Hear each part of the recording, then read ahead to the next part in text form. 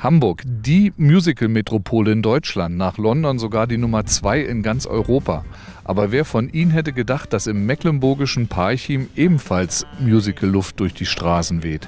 Wir waren mit Michael Rode und Heiko Linnert in den Lagern von Stage Entertainment unterwegs und haben uns Bühnenbilder und Kostüme angeschaut.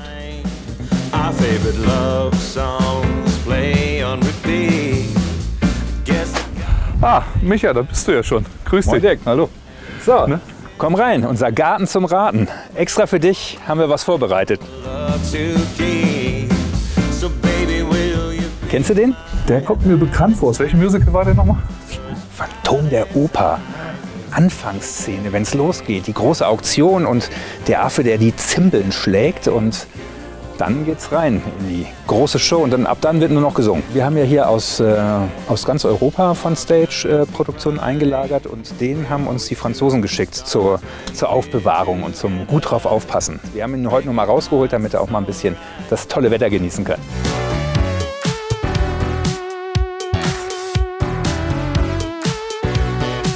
Hallo. Ah, Heiko, grüß dich. Wir stehen ja hier in deinem Garten zum Raten, wie du das so schön sagst. Ne? Das sind auch alles äh, Reste, Musical, Requisiten und Bühnenbilder, die zum Teil zum Wegschmeißen einfach zu schade waren. Da wollte ich lieber so einen schönen Garten haben, der außergewöhnlich ist. Hier mit äh, dem Wirtshaus, was in jedem Biergarten reinpassen sollte, von Die Schöne und das Biest. Das ist tatsächlich aus Wunder von Bern und das steht bereits seit fünf Jahren hier draußen.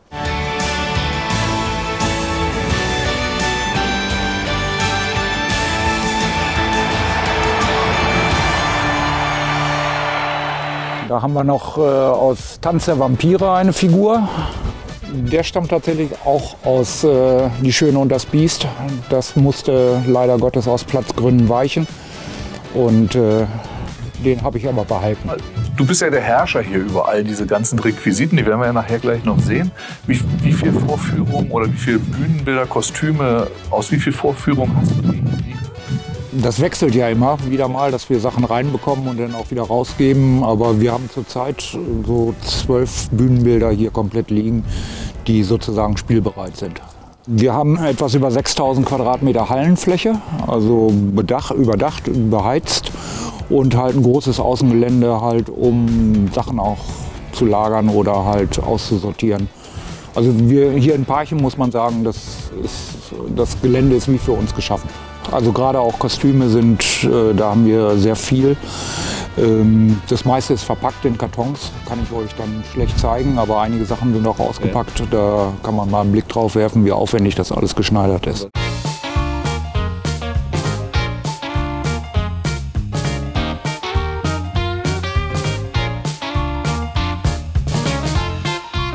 So, wo sind wir denn jetzt hier? So, hier haben wir wenigstens mal was zu gucken.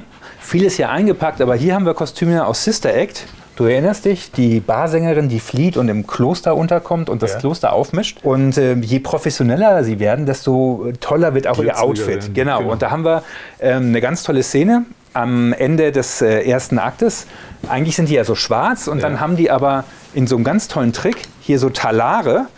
Und ähm, dann drehen die sich so geschickt, wie es gemacht worden ist, habe ich nie verstanden. Und dann haben die das hier.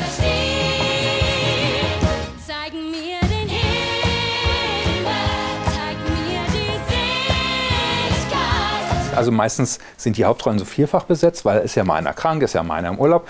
Dann müssen die Kollegen ja einspringen und spielen und die sind natürlich nicht alle gleich groß. Und deswegen kriegt jeder immer sein ganzes Kostümset, Perückenset. Alles wird dann irgendwie für die Hauptrollen vierfach gemacht. Und das ist natürlich auch da haben die Kollegen aus der Kostümabteilung richtig was zu tun. Und das ist auch alles richtig dann maßgeschneidert auf die. Ja, ja, klar. Und wenn dann Castwechsel ist, so nach einem Jahr ähm, können die Darsteller entscheiden, dann geht es wieder von vorne los. Okay. Ja. Und zunehmen darfst du auch nicht, ne? Da kriegst du Ärger, aber richtig.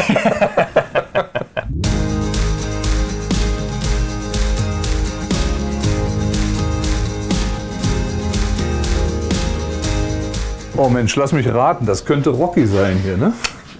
Jawohl, ganz richtig. Glitzer geht auch bei Jungs. Und zwar viel Glitzer.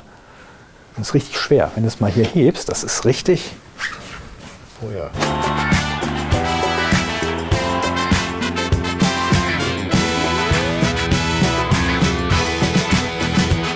Da sind Kostümdesigner dabei, ja? Genau, das sind also Originalentwürfe, ähm, die die gemacht haben und da haben die auch ihre Rechte dran und wenn du die Produktion also einsetzt, müssen die Kostüme auch wieder so sein, wie sie damals waren. Bis ins Detail. Bis ins Detail und dann okay. kommen die auch und gucken. Natürlich kann es mal sein, wenn du jetzt eine Show spielst, die 20, 30 Jahre spielt, dass du nicht mehr die Stoffe rankommst, dann musst du eben gucken, dass du dich da möglichst eng ranrobst und was findest, was irgendwie ähnlich aussieht.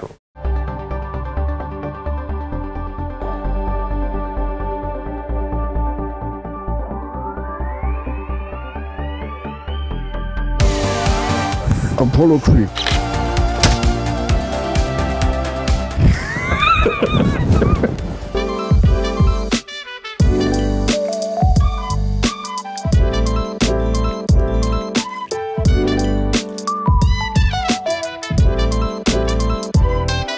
So, und hier rechts, äh, nicht, dass du glaubst, das ist der Todesstern, bei Weitem nicht. Das ist der Mond von Mamma Mia. Der kommt in so einer romantischen Szene ganz am Ende runtergefahren. Ist ein riesiger Hingucker, weil der auch riesengroß. Das ist ein Achtel des Mondes.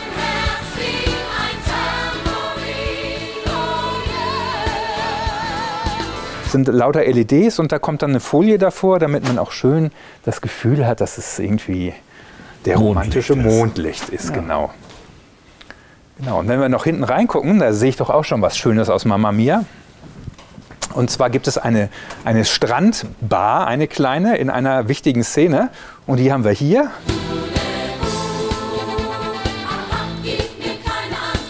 Und wie sich das gehört für einen Urlaub, ne? du hast einen schönen, Alles dabei. schönen Schirm, ja, guck mal, sogar die Zitronen sind oh, noch. Das ist doch ein Plätzchen für eine Pause, ne? Ja, genau. Kann man hier auch ja. Erdnüsse naschen? Bei den oh, Nüsschen, nee, ja, bleibt alles hier, sogar, sogar die Kronkorken sind angeschweißt hier. Also, ja, weil du musst dir vorstellen, wenn es auf der Bühne ist, das wird ja dann weggeschoben, da darf ja nichts irgendwie auf die Bühne fallen, deswegen ist hier alles Ne, auch selbst die Strohhalme sind justiert. Oh, ja, das muss mal abgestaubt werden. Aber das, Aber äh, das kriegen wir hin. Dann sind wir nämlich im Herbst wieder in Hamburg zum großen 20-jährigen Deutschland-Jubiläum von Mamma Mia.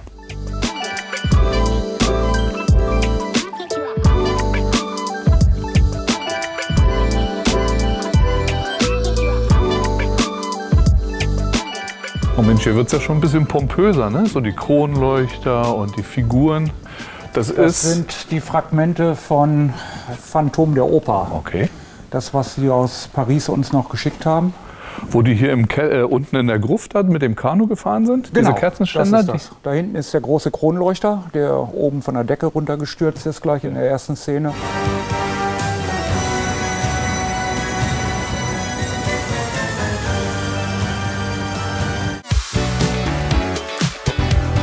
So, hier sind wir jetzt bei New York angelangt. Ja, die Koffer, ne? Die Koffer, genau. ein ehrenwertes Haus mit 66 Jahren.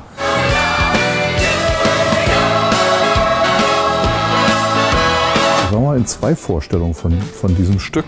Und ich hatte das Gefühl, das eine war kleiner, kompakter, das andere war ja. Wir haben tatsächlich verschiedene Bühnenbilder, weil für unsere mobilen Sachen oder on Tour würden diese ganz großen Produktionen gar nicht reinpassen. Also die kriegt man da noch nicht mal durch die Türen. Im Deutschen Theater in München oder so würde man dieses Riesenschiff gar nicht reinkriegen. Deswegen haben wir hier auch eine kleinere Version, die wir als Tour-Set spielen können.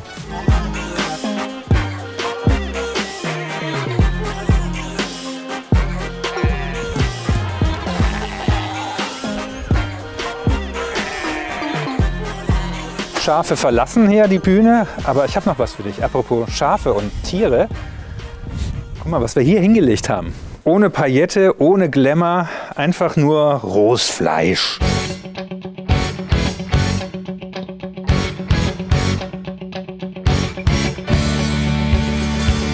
Ja, und jetzt willst du auch mal boxen. Na, klar will ich da boxen. Zeig's uns, Rocky! Meine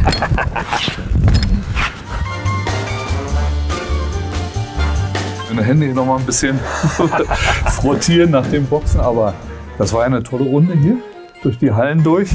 Jede Menge gesehen, schöne Erinnerungen gehabt. Vielen, vielen Dank. Das hat echt Spaß gemacht. Ja. Gerne. Wir freuen uns auf die nächsten Vorführungen. Alles klar. Wir sehen uns im ja. Theater.